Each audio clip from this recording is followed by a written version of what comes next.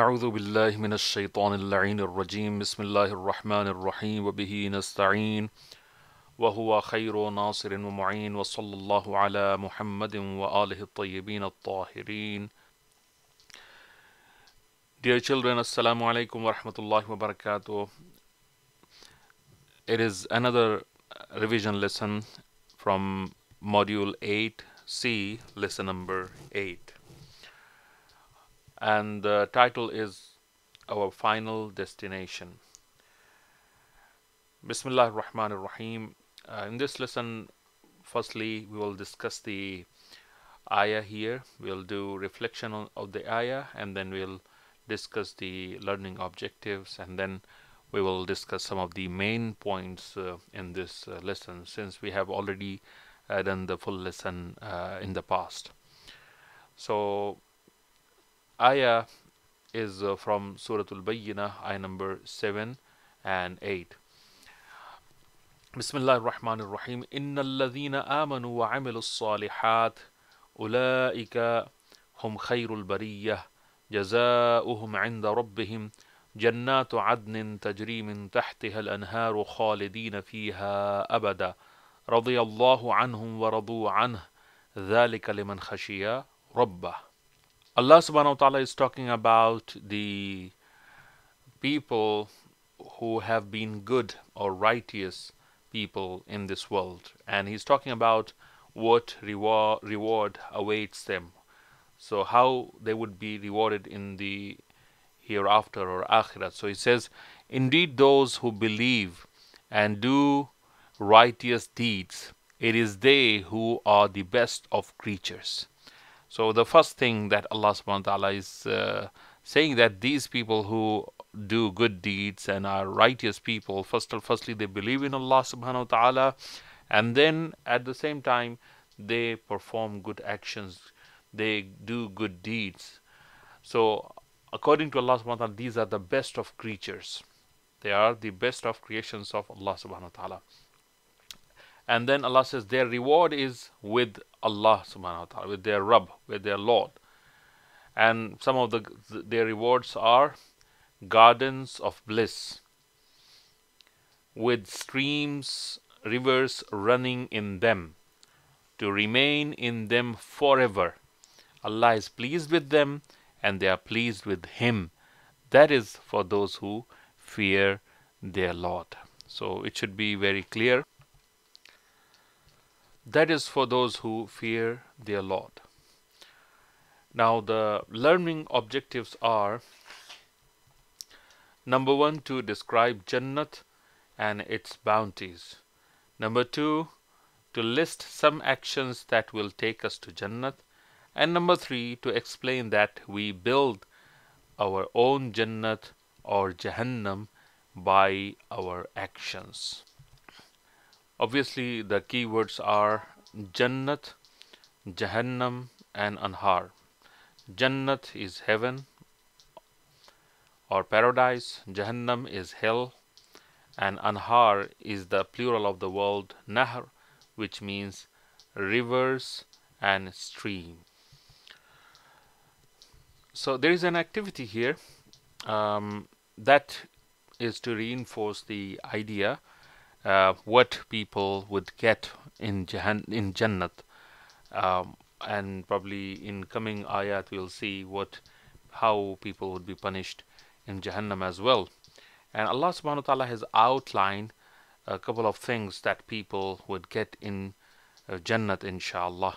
So read through this and inshallah and uh, try to outline them, number them, write them down and memorize uh, them inshallah uh, it's going to be beneficial for you uh, or probably it might be a motivation uh, for you to work hard to go to Jannat so we already know what uh, Jannat is uh, in the last activity you saw a couple of ayat of the Quran where Allah subhanahu wa ta'ala is has talked about uh, some of the things that people would get or receive in Jannat. Now, how we can get to Jannat? What is uh, what is that we should do that would earn us uh, Jannat? So Jannat has to be earned, you know. So first of all, there are people who have this false uh, uh, notion, this false idea uh, that uh, as long as you believe and um, as long as you have the uh, let's say certain things you your jannat is guaranteed and you can go to jannat and that's that's it and no nothing will come to you or no punishment will come to you uh, it's not like that it's not that straightforward um, yes if you believe in Allah subhanahu wa ta'ala ultimately eventually you are going to end up in jannat uh, but if you uh, have left this world with some evil deeds together with iman with belief in Allah subhanahu wa ta'ala then you might have to wait for maybe thousands and thousands of years uh, before you qualify to get to Jannat and even though some people might end up in, Jannat after spending hundreds and thousands of uh, years in Jahannam, they would go to the lowest uh, part of Jannat, not to the higher uh, part of Jannat. So we need to keep this in mind. So Jannat has to be earned. You have to work for it. We, so we must fulfill some conditions before we leave this world. On the day of judgment, when our actions are checked, we want to be moved to Jannat and not Jahannam. One of the main conditions is uh, Iman. First of all, we need to strive to work hard to keep our Iman and our faith intact. Iman means belief in Allah subhanahu wa ta'ala and following his commands and obeying the Quran and Ambiya and Imams. Iman and righteous deeds must always come together. So it's not uh, something free. I mean, Allah subhanahu doesn't want us to go to Jahannam, but He has created a system. He, he has said that you have to make your Jannat or Jahannam in this world by your own hand, yourself.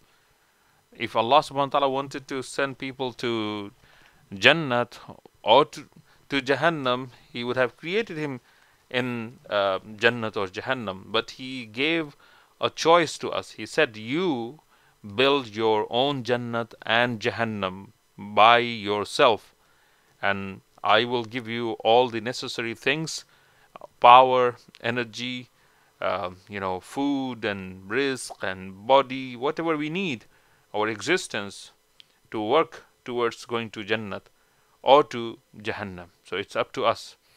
So now this activity uh, on the screen uh, is uh, an activity that can give us a good idea what kind of actions we can do to go to Jannat and uh, you should read through it and you will find so many uh, good uh, suggestions by the Prophet sallallahu alaihi wasallam for us to do in this Jannah in this world to go to Jannat.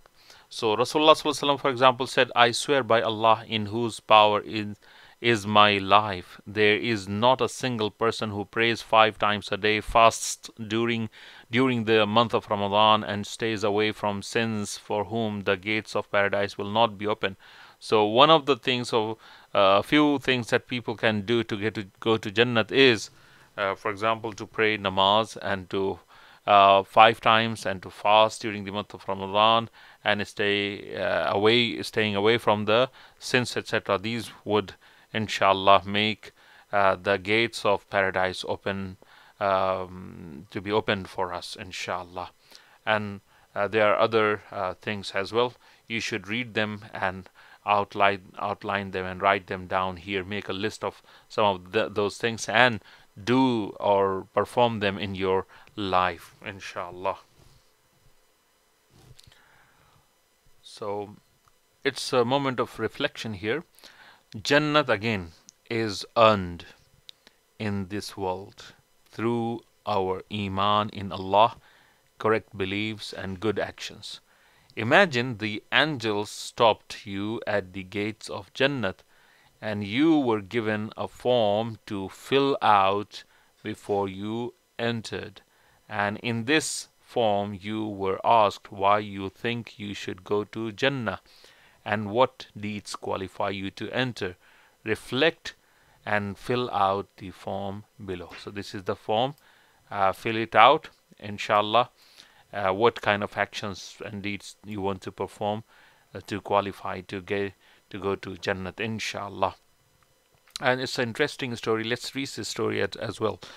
A young man was on his deathbed when Rasulullah came uh, and sat near him. He told him to recite the kalima, but the young man could not speak. Rasulullah asked if his mother was present. A woman sitting near his head said, Yes, I am his mother. Rasulullah asked her, Are you unhappy with your, your son? She replied, Yes, O Rasulullah. We have not spoken to each other for the last six years. Rasulullah asked this woman to forgive her son, for if she did not, then her son would not be able to recite Kalima. At Rasulullah's requ- request, she forgave his mistakes and was no longer unhappy with him. At once, the young man could recite the Kalima. This story shows how difficult the last moments will be for those who make their parents unhappy. So even though some people might uh, uh, pray namaz and, and do other good deeds, uh, but sometimes they may fail in their duties towards their parents. Sometimes they mm, they are um, they curse their parents. Sometimes they are disobedient to their parents. Sometimes they uh, do some nasty things, bad things, and they are always um, creating problems for their parents and p- parents are really happy unhappy with them and so such people might not be able to even recite kalima imagine the prophet ﷺ, um, teaching the kalima to a person and he's not able to do that imagine this is this is something really alarming we need to pay attention here so this is why there's a fiqh fact here and it says maintaining ties with one's relatives or it's called silatul rahm is wajib and serving those ties sorry or severing or cutting off those ties or qat' rahm is one of the major uh, sins so it is a it's, it's a sin um, not to do sila rahm not to be good to your relatives especially your blood relatives especially your parents and your brothers and sisters, etc. Now, uh, in this uh, higher level, uh, we have to pay attention to one more point, and that is uh, performing good deeds is good, but at the same time, we need to stay away from haram acts as well. So it's not that we just keep on uh, doing good deeds and at the same time we do or commit sins as well no it it, it wouldn't uh, like serve any purpose because we are doing committing good deeds good things as well as bad uh, you know deeds at the same time so it nullifying the effects of good deeds so it's important that we pay attention to this point bad deeds prevent us from getting close to allah and may lead us to jahannam so it's not that we should just do good deeds. We need to stay away from haram or bad deeds as well. Imam Jafar has said, strive, try very hard, try very hard to perform good deeds. However, if you cannot perform a good deed, good act, at least do not disobey Allah. Because if one lays the foundation of a building and does not spoil it, then even if the progress is slow, the building will definitely rise. But the person who lays the foundation and at the same time spoils it, then it is sure that the walls of this building will never be raised. So uh, there is an there is a small activity here. Do this activity; uh, it will, you know, inshallah um, spark some good ideas in your mind inshallah as well now the summary the key points are jannat is a beautiful place which is filled with bounties and pleasures that cannot be imagined in this world number 2 iman or belief in allah subhanahu wa ta'ala and following his commands will make us enter jannat Number three, not missing salat, obedience to our parents, and good akhlaq are some examples of good actions that help us earn Jannat. And number four, we build our own Jannat or Jahannam by our efforts and deeds. So whoever would enter Jannat would enter through his own actions and um, deeds, and the same is true with the Jahannam. If somebody uh, has not been a good person, has been an evil person, he would end up in, in Jahannam. Please uh, test yourself and write the answers here and uh, send them to me. Wassalamu alaikum wa rahmatullahi wa barakatuh.